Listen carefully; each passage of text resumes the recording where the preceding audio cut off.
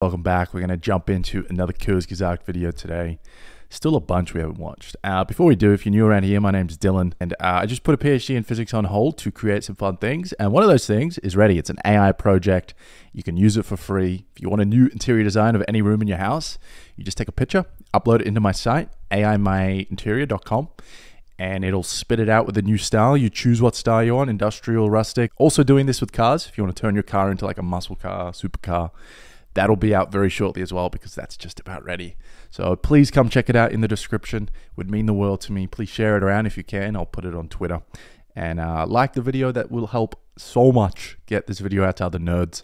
Uh, but anyway, let's get into the video. All right, we have to move locations. People getting up. Are you alone in the universe? So this is quite an early Kurzgesagt video. Are you alone in the universe? Or are you connected to anything? First of all, you're part of a group of mammals answer. that's still very young, but we can make YouTube videos already and build large Hadron Colliders. We've also split the atom and invented Pokemon. We stem from an ancient life form that began living about 3.5 billion years ago. We feel like we're in control of this planet, but we aren't really. One little asteroid or one creative virus is really all it would take to kill us off for good. Humanity credits itself with being able to destroy the planet, but even with all our nuclear toys, we would probably just cause a huge mass extinction at best. Maybe we could kill 90% of everything living on this planet. Big deal. A few million years later, life would be back everywhere. Most microscopic life and... That's a big maybe, Not that powerful. We live on this tiny wet rock that speeds through space following a massive ball of burning plasma. One day, this ball of plasma will stop burning and most likely kill us in the process. If we survive the death of the sun and colonize the galaxy, theoretically, we could survive until the last star in the universe goes out. After that, life becomes pretty impossible. Okay, so everything has an end huge uncertainties here. I don't even like talking about it too much because, goddamn, there's so many uncertainties here, and there's things we could do. Uh, anyway. Where does this leave you as an individual?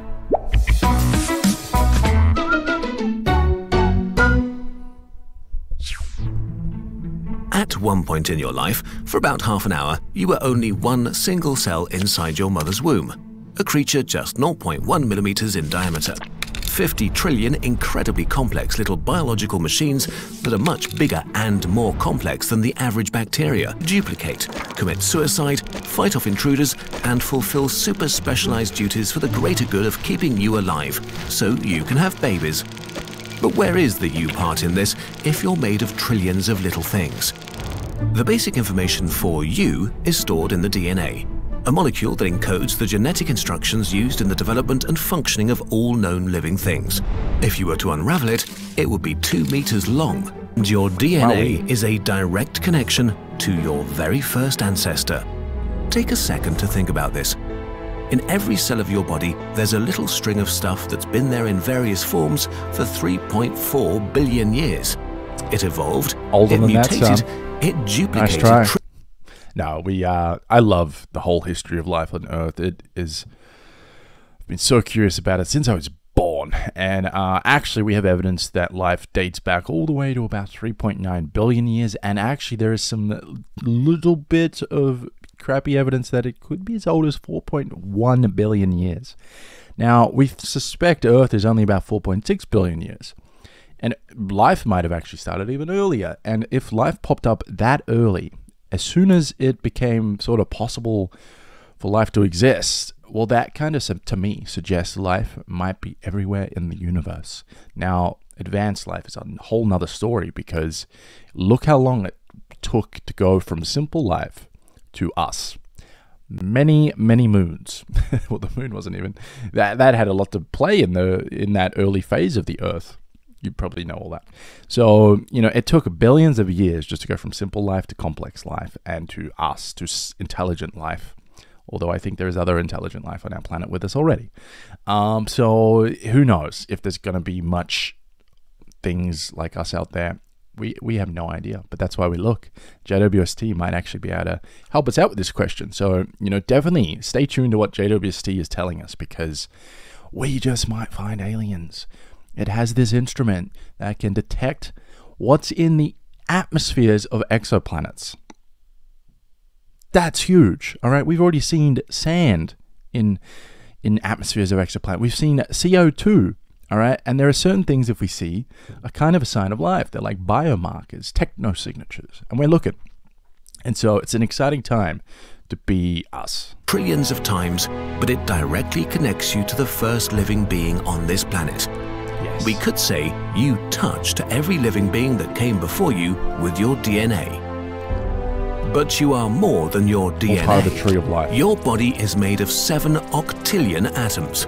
That's 7 billion, billion, billions. Roughly 93% of the mass of the human body is made up of just three elements oxygen, carbon, and hydrogen. Oxygen and hydrogen are predominantly found in water, which makes up about 60% of the body by weight. Carbon is maybe the most important element for life. It can easily bond with other atoms, which allows for the building of long, complex chains of molecules which make up the solid part of you.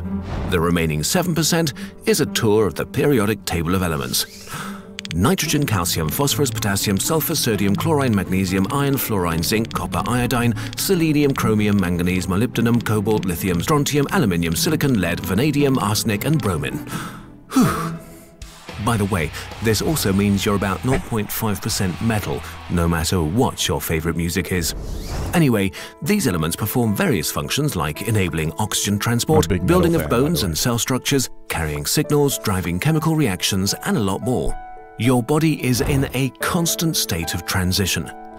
Every 16 days, 75% of you has been replaced because a healthy human exchanges a remember, guys, if you're feeling down about yourself, you don't think, you know, there's anything special about you, just remember that what you are is amazing, okay? You, what your body is doing right now is unbelievable, and it's magic, and it's so complex, and it's beautiful and wonderful.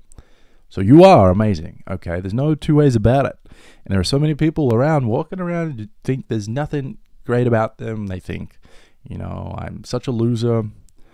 Uh, we've all been there, right? But you you got to remember, you are a walking magical thing, and I think that's always important to keep in mind. Have some perspective because, you know, no matter how how down you feel, you can remember that you're not worthless. Like you are actually this extremely incredible thing.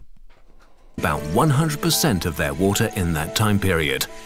Each year, about 98% of your atoms are replaced by new ones, and every five years, close to all of the atoms that make up goes so much deeper than that as well. We're not going to go into the philosophy here, but you know, who knows what we really are? You know, you could be the universe itself. Um, and so, just to weigh in on my final thoughts of "Are you alone in the universe?"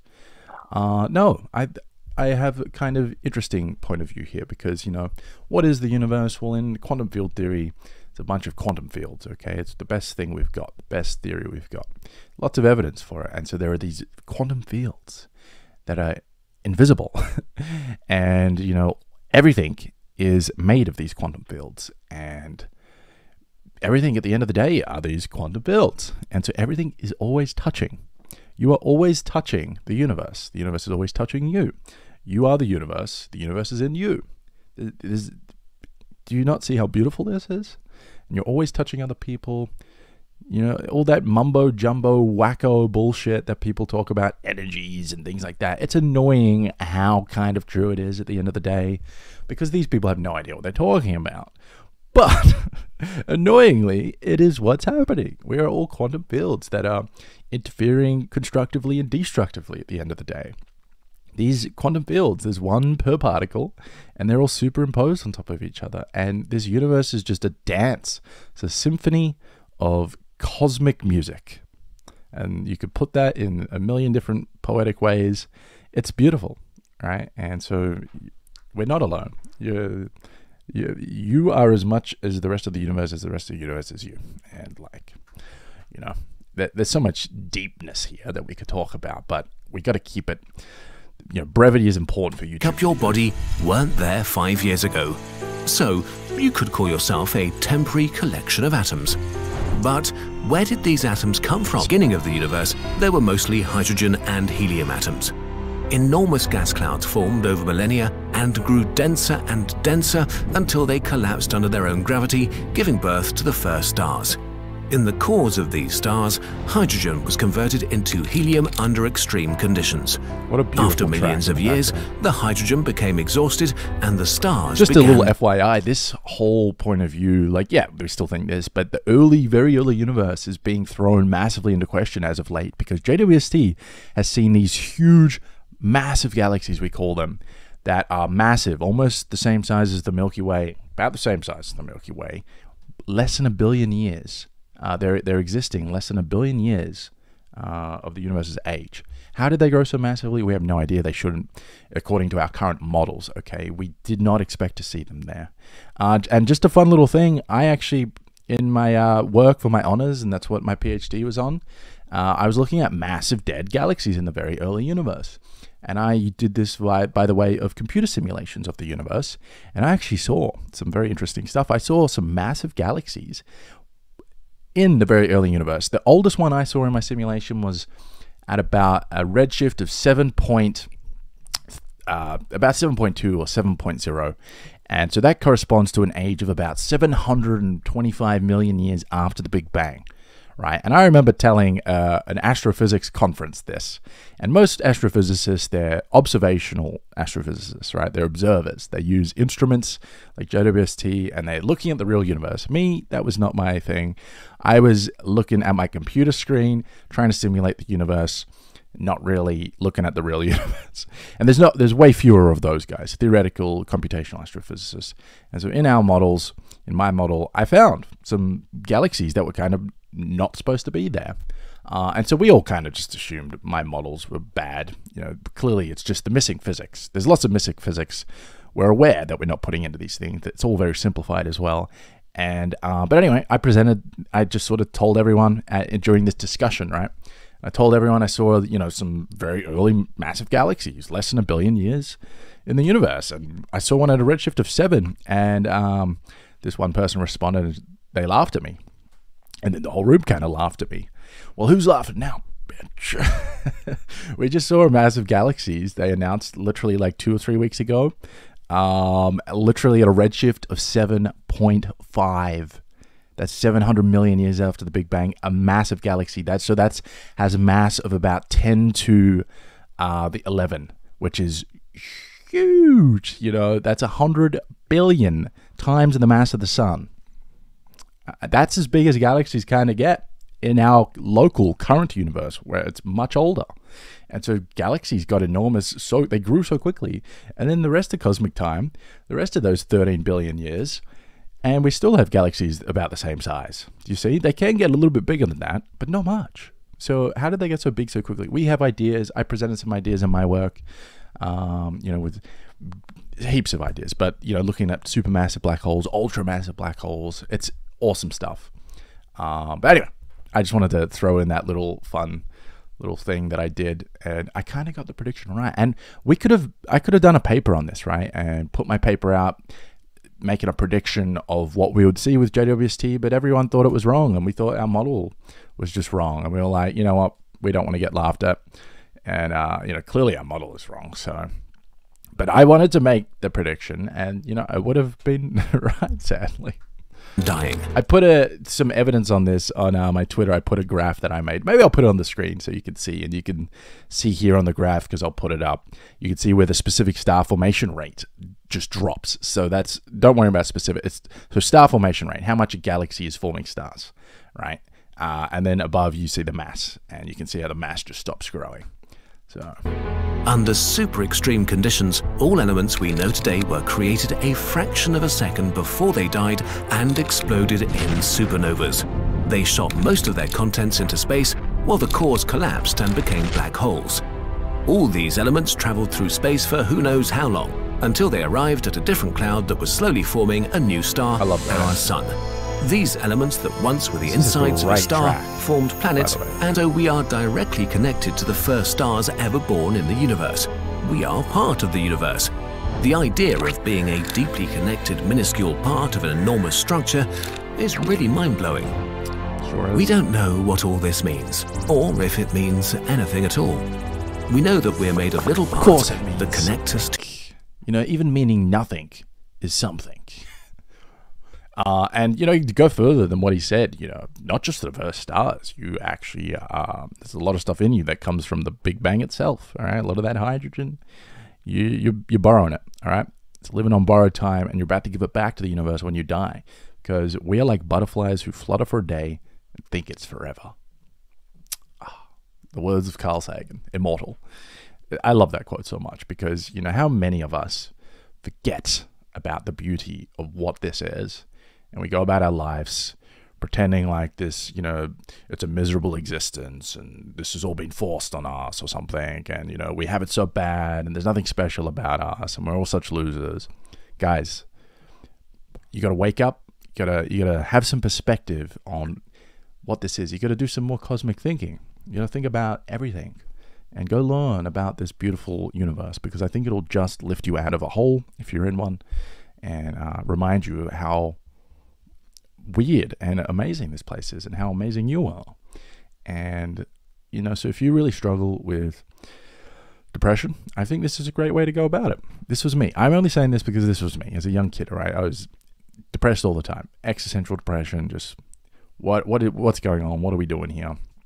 And like Carl Sagan said, you know, if you if you crave some cosmic purpose, then why not find yourself a worthy goal?